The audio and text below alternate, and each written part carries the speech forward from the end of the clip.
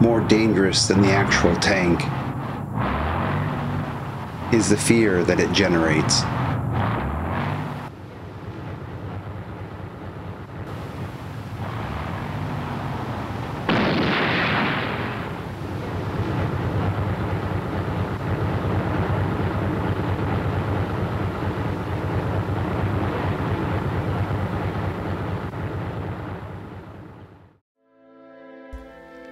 Today, we're following an entry from this fantastic memoir written by Heinrich Haape, a German surgeon who served with the 6th Infantry Division on the Eastern Front. It's one of my favorite first-hand accounts. In addition to rare film footage, I'll use an OKW situational map to give context to his story. A heartfelt thanks goes out to Naomi Ortega and Union Capital for sponsoring the production of this video. Depending on your response, it will likely turn into a new series, so let me know what you think. If you're interested in buying the book, the pinned link in the comment section will get you to it.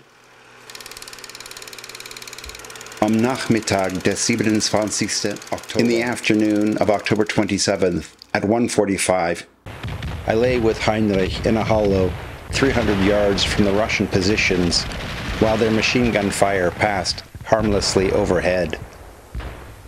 14 Stukas, in steady formation, approached the Russian lines and immediately over our heads peeled off into their attack.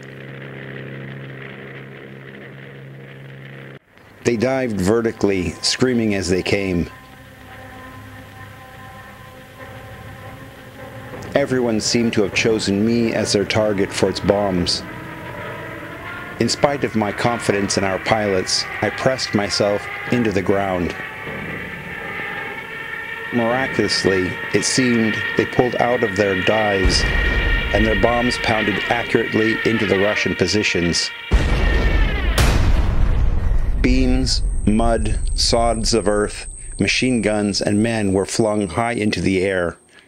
The earth trembled. Fasziniert standen wir auf. Fascinated, we stood up and watched the spectacle.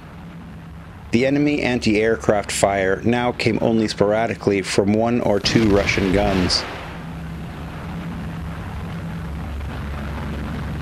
We launched our attack as the Stukas came in again, this time at ground level with machine guns blazing. We stormed into the Russian defenses, and whoever did not surrender was shot down at close quarters. By five o'clock, Mozhki was in our hands.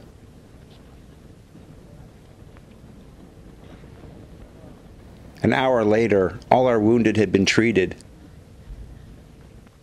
and the dead buried. At 7.30 p.m., we received divisional orders to clear Mozhki and return immediately to our original positions. Rumors flew round the battalion. Why, after winning the valuable ground, had we retired? Were we to dig in here for the winter? Had the attack of the 3rd Panzer Group at Torzhok bogged down in the mud? Was this to be the limit of our advance before swinging eastwards to attack Moscow? Or had General Auleb got cold feet?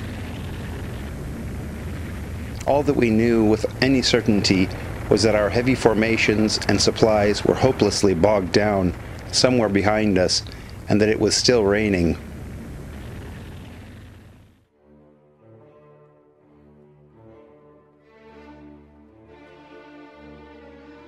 This is the original war atlas for the German High Command for Operation Barbarossa.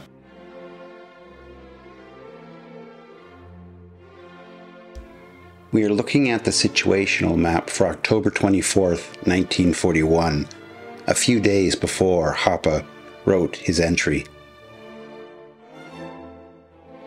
This is a good time for me to thank my Patreon supporters.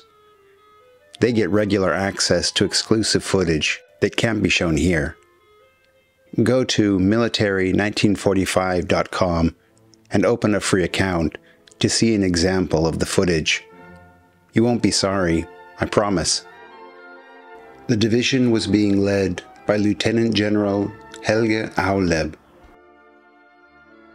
The 6th Infantry Division in the 6th Army Corps was part of the German 9th Army. Also in the Army Corps at the time were the 26th and 110th Infantry Divisions.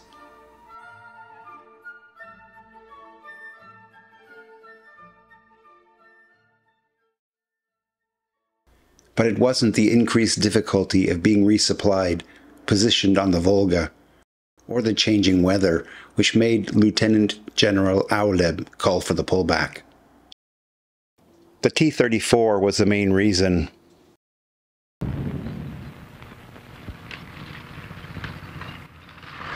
Auleb had also decided that we had thrust too far forward and were exposing our flanks, but it was the T-34 that had caused our first withdrawal.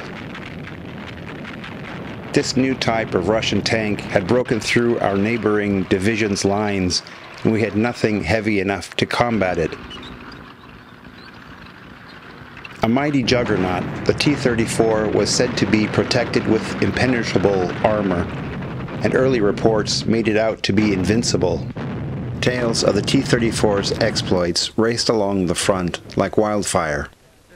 Our 37mm anti-tank guns were useless against it, and were now nicknamed the Panzer Tappers. A brave and determined detachment equipped with 37s had struck a T-34 more than 40 times, but the monstrosity had not even wavered in its course, and had calmly lumbered up to our guns, driven over them and flattened them.